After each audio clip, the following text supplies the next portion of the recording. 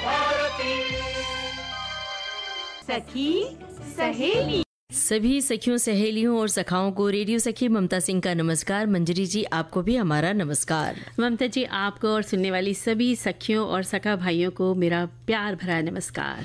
क्या विचार कर रही थी? बड़ी सोच में बैठी थी। बस आज तो विचार करने का ही दिन है। बचपन के यादों में चले गए थे कि जब कार्टून्स देखा करते थे। हाँ सचमुच। वो जो कार्टून की दुनिया बड़ी लुभावनी होती है बड़ी मोहक होती है और छोटे बच्चे जब कार्टून के सामने बैठ जाते हैं स्क्रीन के सामने तो फिर उठने का नाम ही नहीं लेते हैं। दरअसल ये बात हमें याद दिला रही है कि आज विश्व एनिमेशन दिवस है और इस पर हम तफसील से चर्चा भी करेंगे और साथ में अपने सखियों और सखाओं को बता दें कि दिवाली की तैयारियों के बारे में भी बात करेंगे और क्या विषय है और जिस पर हमें चर्चा करनी है। बिल्कुल। दिवाली की सफ़ाई और सुनहरी स्मृतियाँ इनसे जुड़ी बातें करेंगे। और आत्मनिर्भरता से सफलता इसके बारे में भी बातें होंगी। और सौंदर्य साधना में हम बात करेंगे चॉकलेट से निखारे त्वचा। चॉकलेट खाने की बात होती है लेकिन त्वचा भी निखरती है। बिल्कुल। ये बात बहुत कम लोगों को पता होगी लेकिन आज हम बताएँगे क्योंकि आज चॉकलेट डे भी है। और जो हमने ज़िक्र किया कि दिवाली की सफ़ाई और सुनहरी स्मृतियाँ। तो हो सकता है कि सखियाँ कहें कि ये क्या भाई दिवाली की सफ़ाई के साथ सुनहरी स्मृतियाँ कैसे? वो ऐसे कि जब आप साफ़ सफ़ाई कर रही होती हैं स्वच्छता अभियान चला रही होती हैं तो उसमें बहुत सारी ऐसी चीज़ें मिलती हैं। ऐसा ख़जाना हाथ लग जाता है जब आप यादों के गलियारों में पहुँच जाती हैं। तो हमारी सखियाँ भी बताएँगी सखा भी बताएँगी कि वो कैसे गलियारों में पहुँचे अपने किससे लिख सकते हैं है ना? और आपको हम बचपन वाले गलियारे से बाहर निकालते हैं और बताते हैं कि एनिमेशन डे है आज विश्व एनिमेशन डे।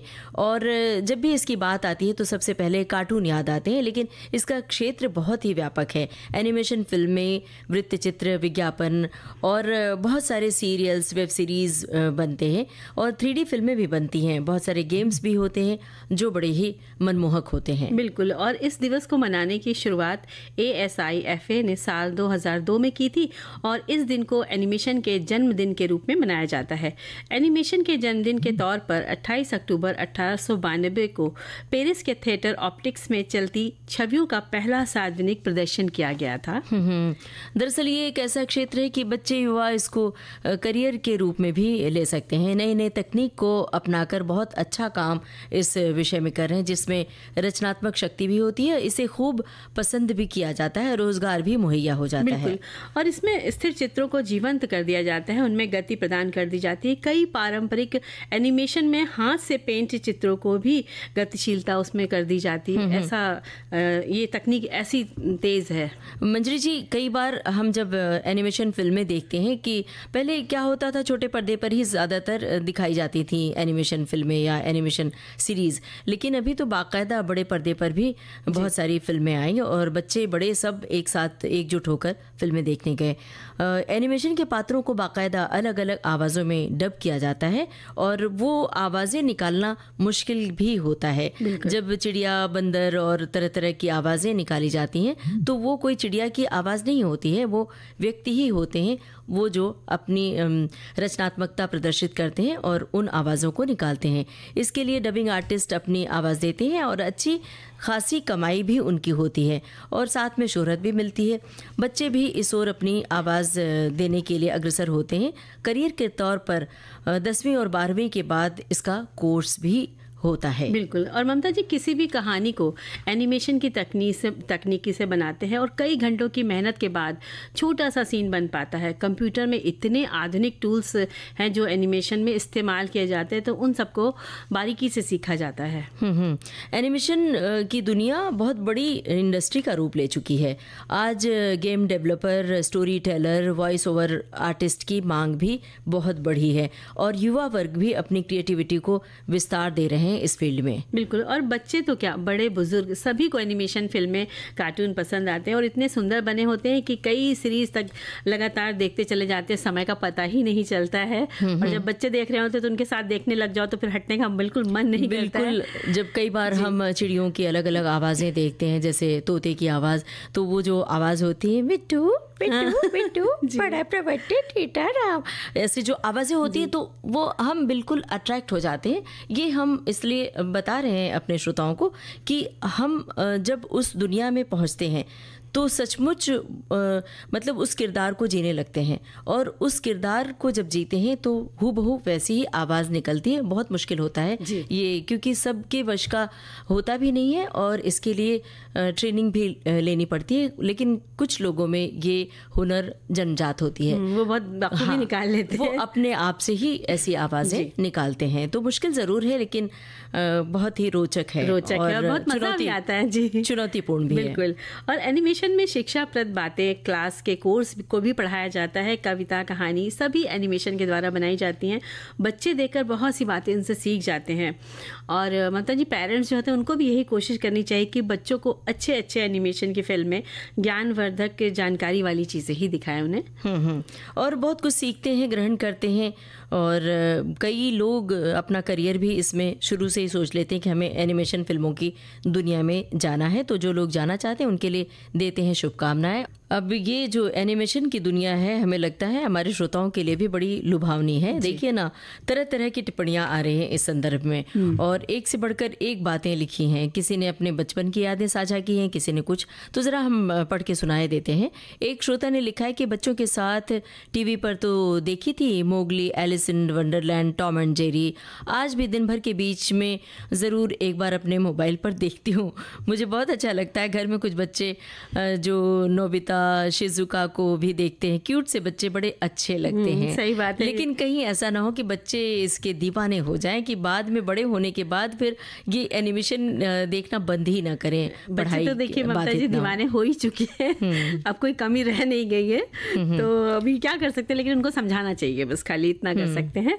और संदेश में लिखते हैं कि एनिमेशन के जन्म से पहले भी छाया कठपुतली परंपराओं में कहानी को बताने के लिए छवियों का उपयोग किया जाता था और इसका एक उल्लेखनीय उदाहरण इन्होंने दिया है कि आंध्र प्रदेश राज्य से थोलू बोम बोमलता यानी चमड़े की कठपुतलियों का नृत्य है। इस्तेमाल की जाने वाली कठपुतलियाँ बड़ी होती थी और उनमें कई जोड़े होते थे और, और दोनों तरफ़ रंगीन हुआ करती थी। इसका मतलब था कि रंगीन छायाएँ स्क्रीन पर प्रेक्षित की जाती थी प्रदर्शन संगीत के साथ होते थे और लोक कथा और महाभारत के।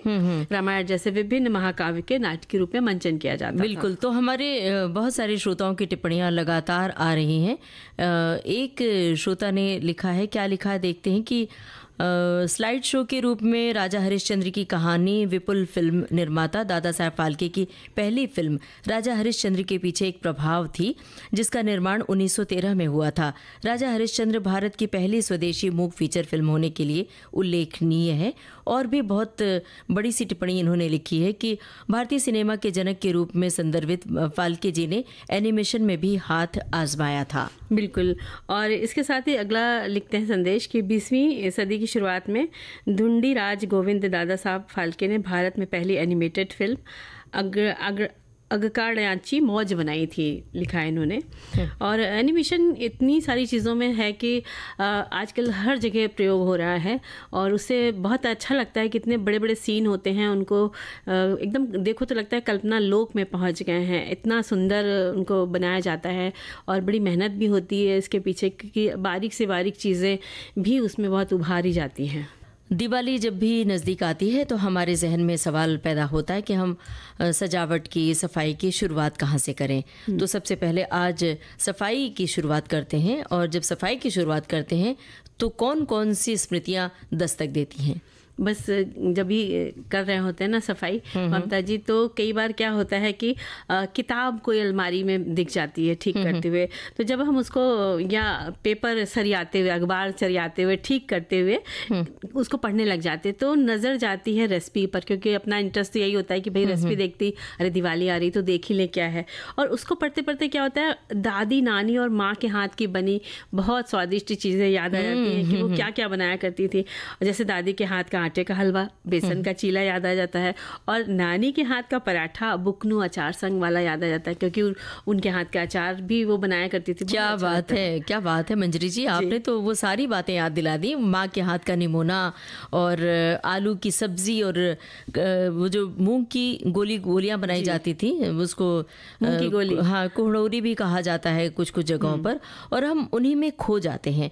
अच्छा उन्हीं की यादों से याद आता है क्यों ना इस दिवाली दिवाली पर मूंग की गोली बना लें। मेहमानों को बनाकर खिलाएँगे। सालों से तो मैं भी बनाना भूल गई थी और इस तरह की बातें जहन में आती हैं और न जाने क्या क्या बातें याद आ जाती हैं। वो अखबार की कतरने जब हम देखते हैं पलट पलट के तो पीले पड़ गए होते हैं पन्ने। लेकिन लेकिन चीज़ मुँह नहीं जाता है जो उसमें लिखावट है वो बिल्कुल उजले उजले होते हैं। और कई बार लगेगा अच्छा इस दिवाली में इनको हटा देते हैं इन रद्दी पेपरों को हटा देते हैं लेकिन फिर भी वो चोरी से छुपा के रख लेंगे नहीं अच्छा छोड़ो इसको नहीं फिर बेचेंगे ऐसी हालत हो जाती है। हम्म, और दिवाली की सफ़ाई अपने संग यादों की बाकायदा बारात लिए चली आती है। कपड़ों की अलमारी ठीक करते समय ये याद आ जाता है कि कैसे हम लोग बचपन में कपड़े पहना करते थे। कई बार तो एक ही प्रिंट एक ही कलर के बहनों के फ्रॉक सलवार सू, शलवार सूट बन बनाए बनवाए जाते थे। और ख़ास तौर से दशहरे दिवाली के लिए स्पेशली बाकायदा सब मिल के पूरा परिवार दुकानों पर जाते थे कपड़े पसंद करते थे। तब ऑनलाइन नहीं था ना बिल्कुल, कि, क्योंकि- अ, एक ऐप खोला और वहाँ पर पसंद कर लिया क्लिक किया और घर पे आ गया वो समय बहुत ही अच्छा था और घर के जो बड़े बुज़ुर्ग होते थे वो जाके पूरा एक ही थान ले आते थे प्रिंट का तो छोटे हम्म। लड़की के लिए फ्रॉक बन गई बड़ी वाली के लिए सलवार कुर्ता बन गया तो इस तरह के अनुभव हमने भी काफ़ी बहने हैं हम्म, फूल वाले प्रिंट जी। वो अलग ही मज़ा होता था पहनने। का और भाइयों के जो पैजामे कुर्ते बनते थे हम्म। या उनके लिए नेकर पैंट आ जाता था और घर की महिलाओं की एक ही तरह की बॉर्डर वाली साड़ी मुझे याद हम्म। है और उनके पास रंग अलग अलग होते थे तो कोई उसमें ब्लाउज जो था कोई पफ वाली बाहों वाला सिलवा लेता था हम्म, और कोई लंबी बाहों वाली पसंद करती थी तो अपनी तरह से वो लोग उसको चेंज करते थे कि भाई थोड़ा सा तो अलग दिखे। हम्म। और आज की तरह नहीं कि जैसे आपने कहा है ना कि ब्रांडेड कपड़े गए ले आए जाकर या ऑनलाइन मंगा हम्म, लिया वो नहीं था। बाकायदा दर्जी से सिलवाने के लिए जाया जाता था या उन्हें बुला लिया जाता था घर पे कि सारे कपड़े एक साथ सिलवा लिए जाते थे और इसी तरह कोई डायरी का पन्ना पलटते हुए कोई दुबका हुआ खत उसमें मिल जाता था। तो कितनी भर आत्मीयता भरे भरे खत होते थे जिन्हें हम पूरे के पूरे खत पढ़ते पढ़ते पता चला कि एक दो घंटे बीत गए और एक घड़ी की ओर देखा तो ये तो तीन बज गए। साढ़े तीन चार मतलब ये जो होता था दिन बीत जाता था और पता चला हम अपनी यादों में ही खोए रह जाते थे। और कई बार उन खतों में पूरे मोहल्ले भर की हालचाल पूछते थे। मतलब अपनी तो नहीं पूछेंगे घर भर की। मोहल्ले की वो फलानी काकी फलाने मौसा हाँ, कैसे? और कई बार किसी का प्रेम पत्र भी हाथ लग जाता था।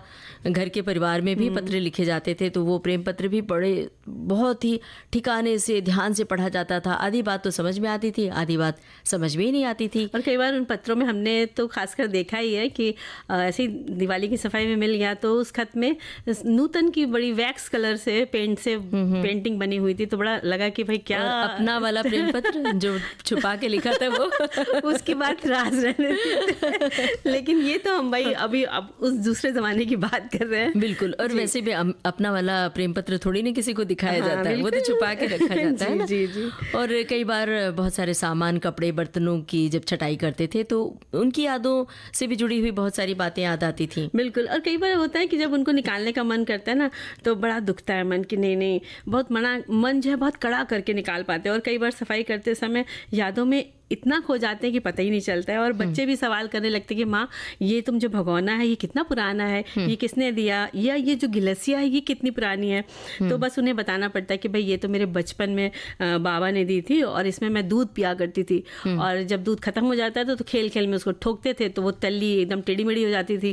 तो कई बार तो उसमें पानी या दूध पी रहे हैं तो वो लुढ़क भी जाती थी। तो ऐसी यादें होती उन बर्तनों से जुड़ी तो आज भी उन बर्तन को निकालने का मन वो नहीं जो छोटे छोटे बर्तन बच्चों के लिए आए मतलब हम सब जब हम्म। हम हमारा बचपन था तो वो जो छोटी सी थाली छोटी सी कटोरी छोटे से ग्लास जिसका आपने ज़िक्र किया।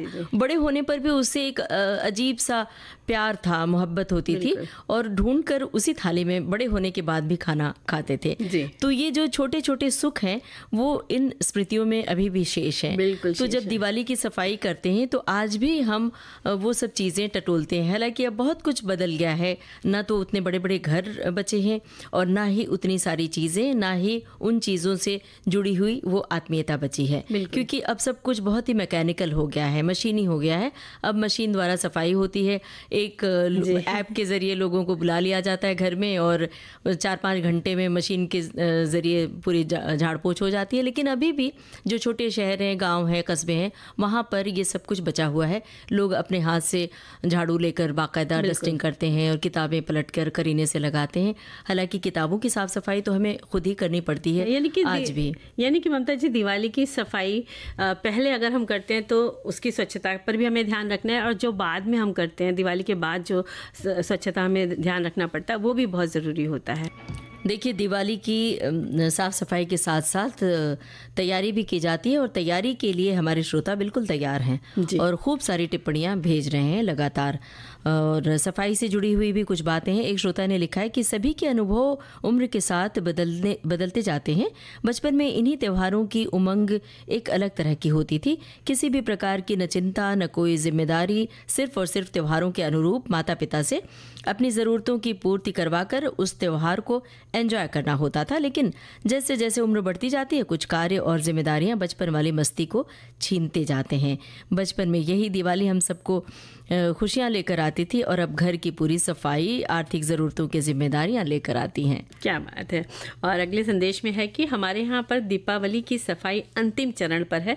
कल से मिठाई और नमकीन बनने वाले हैं। क्या बात है? क्या बात है? और देखिए, दीप पर्व के दौरान मुख्य द्वार पर तोरण, रंगोली, साज सज्जा के साथ ही दीपक जलाना, शुभ ऊर्जाओं का आमंत्रण करना और स्वागत की तरह होता है। और हाँ ये ध्यान रखें कि मुख्य द्वार में कहीं छिद्र और दरार ना हो, उसे खोलने और बंद करने में आवाज़ ना आती हो। शुभ लक्षणों से युक्त द्वार लक्ष्मी को आमंत्रित करने में सहायक होता है लिखते हैं संदेश में। हम्म, और हमारे एक श्रोता बाकायदा कह रहे हैं कि लिस्ट तैयार कर लीजिए। दिवाली के लिए आपको क्या क्या काम करने हैं और कैसे इसकी सूची बना लें? इससे आपको रोज़ के लिए थोड़ा थोड़ा काम बांटने में आसानी होगी। और सफ़ाई मिठाई बनाना वगैरह तो जैसे कामों को समय से पूरा करने में इसे आसानी ही मिलती है। और एक बात का ख्याल और रखें कि आपके इर्द गिर्द जो लोग दिवाली को इतने बड़े पैमाने पर नहीं मना पा रहे। उनकी मदद भी करें उनके लिए भी मिठाइयाँ खरीदें उनके लिए भी नए कपड़े खरीदें और उन्हें घर के सदस्य की तरह खुशी बांटें। बिल्कुल। और अब हम क्या करें? एक ब्रेक लेते हैं इस समय। विविध भारती से यह कार्यक्रम सखी सहेली और मंजरी जी सफलता पाने के लिए बहुत सारे मुद्दे हैं और बहुत सारे नुस्खे होते हैं जिसके ज़रिए सफलता पाई जा सकती है। उसमें एक अहम मुद्दा है आत्मनिर्भरता। कई बार अपने आत्मविश्वास और आत्मनिर्भरता के चलते सफलता जल्दी मिल जाती है और कई बार हम चूक जाते हैं। तो इसी विषय पर थोड़ी सी चर्चा हम करेंगे। देखिए आपने बात करी थी ना सफलता और आत्मनिर्भरता के बारे में गाने से पहले। जी। तो देखिए जो सफलता की जो पहली सीढ़ी होती है वो है आत्मनिर्भरता।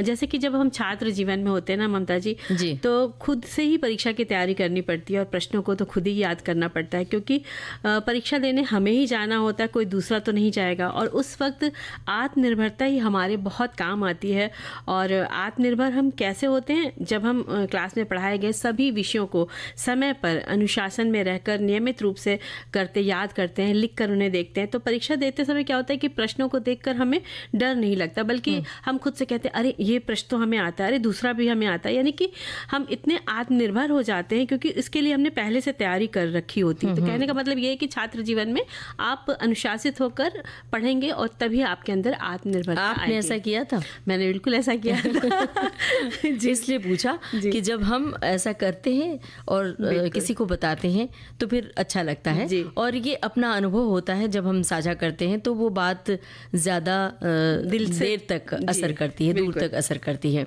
और सचमुच आत्मनिर्भरता केवल छात्र जीवन तक ही नहीं होती है बल्कि ये जीवन के हर लम्हों में हमें हौसला देती है।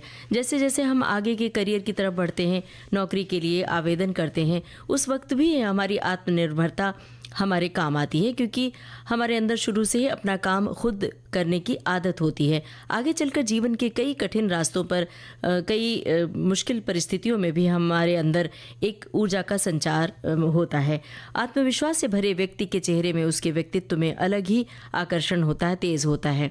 और ये कई बार माँ बाप इतना ज़्यादा अपने मतलब अपने आश्रित बना लेते हैं बच्चों को कि बड़े होने के बाद कई बार हमने कई युवाओं को देखा है कि हर बात माँ पिता से पूछ कर कदम बढ़ाना ये ठीक है कि उनसे गाइड लेना मतलब उनसे जानकारी लेना मार्गदर्शन लेना ये अलग बात है।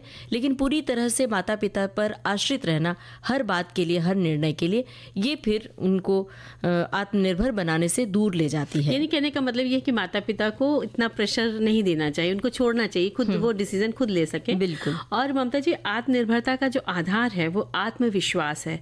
इसी से हम अपने लक्ष्य को पाने में सफल हो पाते हैं और आत्मनिर्भर व्यक्ति किसी की राह नहीं देखता है। वो स्वयं पर भरोसा रखता है और ऐसे व्यक्ति के हृदय में लोगों के प्रति कोई बैर भाव भी नहीं होता है क्योंकि वे लोगों के प्रति उदार होते हैं दया का भाव रखते हैं करुणा रखते हैं और ऐसे लोगों में विनम्रता बहुत होती है। वे विपरीत परिस्थितियों में भी विचलित नहीं होते और धैर्यपूर्वक जो है वो समस्या का हल निकाल लेते हैं खोज लेते हैं क्योंकि वो आत्मनिर्भर होते हैं और आत्मनिर्भरता जिसके अंदर होती है वो सफल होता है। विकास के रास्तों पर वो सुगमता से बढ़ जाता है और जिससे इसमें कमी जिसमें कमी होती है अभाव होता है वो दूसरों के अधीन हो जाता है। हम्म हम्म।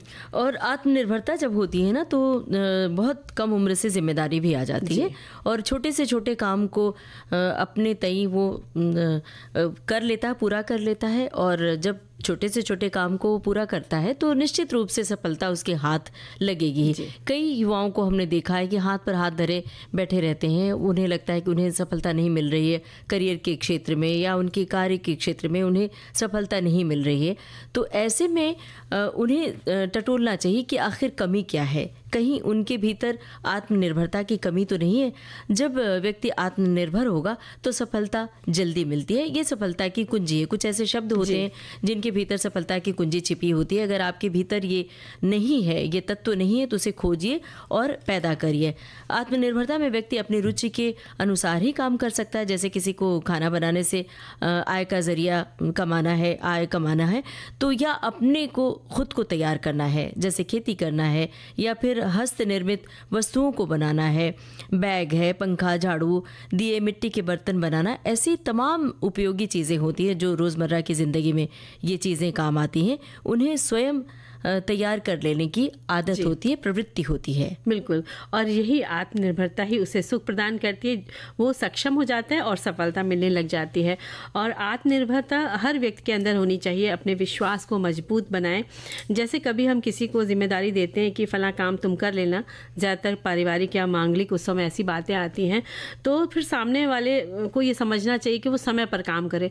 लेकिन जो जिम्मेदार होता है ना व्यक्ति आत्मनिर्भर होता है वो अपना पैलर दिमाग चला के चलता है कि मुझे तो ये कर ही लूँगा। ये शुरुआत से ही बच्चों में ये टेंडेंसी शुरुआत से ही डाली जाती है। कई बार ये होता है कि माँ पिता दोनों घर से बाहर हैं जॉब पर। घर में बच्चा बाकायदा बड़ा हो चुका है कि वो खाना बना सकता है लेकिन वो इंतज़ार कर रहा है कि मम्मी पापा आएँगे वही खाना बनाएँगे तो ही खाना है। मतलब पूरी तरह से आश्रित रहना। या फिर घर में जब बहू होती है तो घर के सारे लोग बैठे रहते हैं कि बहू आएगी और फिर वो खाना बनाएगी तो खाएँगे।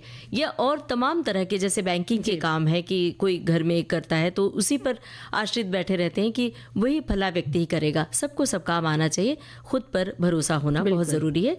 ममता जी आत्मनिर्भरता पर एक संदेश है, लिखते हैं कि आत्मनिर्भरता के विषय में हमने देखा है कि आत्मनिर्भर यानी सिर्फ़ अधिक आर्थिक पक्ष को लेकर स्वयं निर्भर होना, लेकिन आत्मनिर्भरता का आशय सिर्फ़ आय को लेकर होना चाहिए। मैं मानता हूँ कि आर्थिक रूप से आत्मनिर्भर होना आज के समय को देखते हुए बहुत ज़रूरी होता है, लेकिन क्या कभी गौर किया कि हम सभी अपने व्यक्तिगत छोटे छोटे दैनिक कार्यों को लेकर हम स्वयं पर कितने आत्मनिर्भर होते हैं? हम अक्सर देखते हैं कि परिवार के सदस्य, खासकर पुरुष वर्ग, चाहे पति हो या भाई हो या अन्य कोई भी अपनी छोटी छोटी दैनिक जरूरतों के प्रति भी आत्मनिर्भर नहीं होते। नहाने जाएँगे तो पत्नी को आवाज़ लगाएँगे कपड़े दे दो घर से ऑफ़िस जाएँगे तो चश्मा दे दो मोबाइल दे दो ये सभी कार्य भी आत्मनिर्भर आत्मनिर्भरता की श्रेणी में आते हैं और इन सभी कार्यों के प्रति भी परिवार के सभी सदस्यों सदस्यों को आत्मनिर्भर रहने की आवश्यकता है। बहुत सही बात इन्होंने लिखी है। सही फरमाया इन्होंने और एक श्रोता ने लिखा है कि सफलता पाने के लिए आत्मबल भी ज़रूरी है। इसके लिए तन मन से लगे रहना आवश्यक है। एक गुजराती मुहावरा है, मन होए तो मालवे जवाए। मतलब मन यानी इच्छा हो, तब हम कहीं भी जा सकते हैं। दिल से मन से हम आशावादी हो तो हम आत्मनिर्भर बन सकते हैं। ये सही पते की बात इन्होंने कही है और अब जो दिवाली की साफ़ सफ़ाई की बातें हमने कर ली और स्मृतियों की भी सैर कर ली लेकिन दिवाली अब चूँकि करीब है। करीब क्या? कल तो पहली दिवाली मानी जाएगी। धनतेरस और तैयारी बहुत सारी होती है और दिवाली जब आती है तो लोगों के खर्च भी बढ़ जाते हैं लोग बचत पर भी ध्यान देते हैं। तो उसके लिए तैयारी क्या क्या करें? मंजरी जी बताइए। बस जैसे कि अब सोचते हैं ना कि खर्चा हम कम करेंगे तो जैसे दीप दीपावली रंगोली बना ली। हाँ रंगोली बना ली। और दीपक जो है वो सादे मिट्टी के लाकर आप खुद भी उसे पेंट कर सकते हैं बच्चों से करवा सकते हैं जिससे बच्चों के अंदर की जो रचनात्मक शक्ति होती है वो उभर कर सामने आती है। और जब रंगोली की तैयारी होती है तो बड़ी भारी प्रतियोगिता हो जाती है आसपास में कि भाई मेरी इससे अच्छी बननी चाहिए या उस और आगे के घर वालों से अच्छी बननी चाहिए। इस तरह की प्रतियोगिता में बहुत हो जाती है। तो आप उसके भी तरीके अपना सकते हैं कि फूलों वाली बना लीजिए या पत्तों की कतरन से भी आप रंगोली बना सकते हैं। और तोरण कंदील झालरें सब अलग से लोग लेके आते हैं बाज़ार से लेके आते हैं। लेकिन अगर आप उन्हें आम के पत्तों से बनाएँगे थोड़ा सा फूल लगा देंगे तो उसकी अलग शोभा होगी। क्योंकि अ, इस तरह से आप थोड़ी छोटे छोटे सोच के बचत कर सकते हैं और तैयारी जब हैं। पटाखे छुड़ाने की बात आती है तब फिर क्या करना चाहिए? पटाखे छुड़ाने की जब बात आती है तब आप बच्चों को यही समझाइए कि पटाखे पर्यावरण को नुकसान पहुंचाते हैं और आप लाएँगे ही नहीं तो वो छुड़ाएँगे कैसे। और उसमें आजकल तो पटाखों की लड़ी लगा दी जाती है और इतना ज़्यादा इतने ज़्यादा शोर वाले पटाखे आते हैं कि आप एक आम इंसान तो खड़ा नहीं हो सकता खुली जगह पर सड़कों पर। और उसके लिए गाड़ियों के आने जाने के लिए भी बहुत नुकसानदेह होता है। कि खतरा कहीं भी पैदा हो सकता है। दूसरा कई लोग दमा और अस्थमा के जो मरीज़ होते हैं जो जिनको सांस की तकलीफ़ होती है पटाखों के शोर से उन्हें उनकी तकलीफ़ ज़्यादा बढ़ जाती है। तो ज- जब ज़्यादा शोर वाले पटाखे आप ले आते हैं तो इन बातों का ख्याल रखें। बिल्कुल इसका बहुत ज़रूरी होता है ध्यान रखना। और जब समय से पूर्व जो है इस दीपावली त्यौहार की खरीदारी कर लेनी चाहिए क्योंकि लास्ट समय में दौड़ भाग करने से बचना चाहिए क्योंकि दीपावली की तैयारी में थकान बहुत हो जाती है। फिर खुद को भी अच्छा दिखना होता है तो पार्लर जाने का भी काम एक बढ़ जाता है कि लगता है भाई हम सखियों को लगता है कि एक बार पार्लर हुआ है सफ़ाई कर ली बहुत चेहरा बिगड़ गया है तो त्यौहार में कम से कम अच्छे से सजे धजे तो ये बात अच्छी है लेकिन मतलब यहाँ भी पार्लर जाने की बजाय चॉकलेट के ज़रिए जो वो तो हम लोग निखार होता है उसके बारे में आप बताने वाली है। ये आप पहले से आगाह कर रहे हैं हमारे श्रोताओं को। तो ठीक है हमारे श्रोता इंतज़ार करेंगे वो जो लाइट लगाना दीपक बाती तैयार करना ये तो है ही। और जो ख़ास बात है उसमें मतलब ये सब जब सजावट कर लेते हैं तो घर चमक उठता है तो मन भी हमारा चमक जाता है मन भी खुश हो जाता है। बिल्कुल खुश हो जाता है और आज कल तो बाज़ार में बहुत दिवाली के सजावटी सामान तरह तरह के आ गए हैं। पहले मिट्टी के दिए लगाए जाते थे बाद में मोमबत्तियाँ आ गई अब झालरों से सजाने लग गए हैं। मंजरी जी एक बात बताइए कि आपको असल में अच्छा क्या लगता है? वो जो मिट्टी के दिए या जो चमक लाइटें लगती हैं खूब सारी अ, उसकी बजाय मिट्टी के दिए जलाना ज़्यादा अच्छा लगता है या मोमबत्ती या और तरह तरह के जो सजावटी जी। आए हैं कंदील वो? ममता जी मुझे तो पहले तो मिट्टी का ही दिया मुझे अच्छा लगता है जलाना सबसे अच्छा वो लगता है। उसके बाद मोमबत्ती की बात आती है लेकिन दीपक जो होता है वो तेल के साथ जो जलाते हैं उसका अलग एक रौनक लगती है। वो लगता है सच में ये दिवाली और एक चीज़ और है मिट्टी के दिए जब आप खरीद कर ले आते हैं और जलाते हैं उसमें एक खुशी और निहित है। वो ये कि जो मिट्टी के दिए बनाकर जो बेचते हैं सड़कों के किनारे किनारे किसी ब्रांडेड दुकान पर नहीं बैठते हैं। ये उनकी बाकायदा आजीविका होती है। वो साल भर इंतज़ार करते हैं साल भर वो दिए तैयार करते हैं और फिर वो सड़क के किनारे बैठ के बेचते हैं और दिवाली तक बिक जाए उनका यही यही उनकी मंशा होती है कि किसी तरह से बिक जाए और उन, उनको उतने पैसे मिल जाए जितनी लागत लगी है। तो जब आप शॉपिंग करने जाते हैं और ज़रूरत से ज़्यादा शॉपिंग करते हैं तो उस समय इसका ख्याल रखें कि जो सड़क के किनारे लोग बैठे हैं। और उनसे बार्गेनिंग ना करें बिल्कुल बिल्कुल। भी कि हमने कई लोगों को देखा है कि उन बताया कि ये दिया इतने रुपए का पचास रुपए का है सत्तर रुपए का है। तो लोग कहते हैं कि नहीं सत्तर नहीं हमें चालीस में ही दे दो। ये उनके उनका नुकसान करते हैं आप। बिल्कुल, और उनका मनोबल कितना टूटता होगा जब दिए नहीं बिकते होंगे और वो वापस लेके आते होंगे। तो इन बातों का भी ख्याल रखना चाहिए। बिल्कुल इस दिवाली पे ये चीज़ प्रण लें कि हम इन सबसे भी ये सारे सारे सामान खरीदेंगे चाहे वो सजावटी हो चाहे रंगोली हो चाहे फूल माला की बात हो। दिवाली की सब साफ़ सफ़ाई की बातें जब हम कर रहे थे तो हम बातें कर रहे थे अखबारों की कतरनों की किताबों की स्मृतियों की। कौन कौन सी स्मृतियों के गलियारों तक हम पहुँच गए थे? और साथ में हमारे श्रोता भी उनकी टिप्पणियों से पता चल रहा था कि वो भी पहुँच गए। एक श्रोता ने लिखा भी है कि हम हमारे जब हम दिवाली की सफ़ाई करते थे तो माँ मम्मी के साथ बैठते थे हम तीनों भाई बहन और डब्बे पोछ पोछ के गीले कपड़े से हम पोछ पोछ के देते थे। और बाद में पता चला कि एक डब्बे में पिछले साल का पटाखा रखा हुआ है। हाँ। तो वो हमने चुरा कर ले लिया। तो यहाँ पर आपको हम पहले ही कह चुके हैं कि पटाखे सेम यादें मेरी बिल्कुल। ना छुड़ाएँ तो अच्छा है बल्कि सिर्फ़ फुलझड़ी छुड़ा के ही अपना दिवाली अपनी मना ले। ऐसी ही तमाम बातें होती हैं। हम कविता और कहानियों की सैर कर लेते हैं। एक कविता हमें याद आई। वो है केदारनाथ सिंह की कविता। दिवाली पर अक्सर ये सोशल मीडिया पर भी आजकल वायरल होती है। वो उन उस कविता की कुछ पंक्तियाँ मैं पढ़कर सुना रही हूँ। केदारनाथ सिंह की कविता है जाना फिर जाना उस तट पर भी जाकर दिया जला आना। जाना फिर जाना उस तट पर भी जाकर दिया जला आना। पर पहले अपना ये आँगन कुछ कहता है उस उड़ते आंचल से गुड़हल की डाल पर बार बार उलझ जाती है। एक दिया वहाँ भी जलाना, जाना फिर जाना। एक दिया वहाँ जहाँ नई नई दूबों ने कल्ले फोड़े हैं। एक दिया वहाँ जहाँ उस नन्हे गेंदे ने अभी अभी पहली ही पंखड़ी बस खोली है। एक दिया उस लौकी के नीचे जिसकी हर लतर तुम्हें छूने को आकुल है। एक दिया वहाँ जहाँ गगरी रखी है।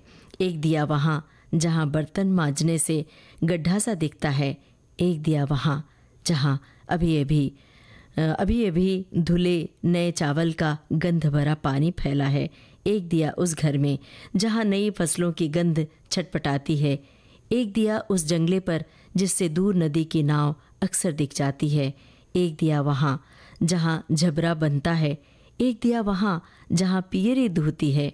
एक दिया वहाँ, जहाँ अपना प्यारा झबरा दिन भर सोता है। एक दिया उस पगडंडी पर, जो अनजाने कोहरों के पार डूब जाती है। एक दिया उस चौराहे पर, जो मन की सारी राहें विवश छीन लेता है।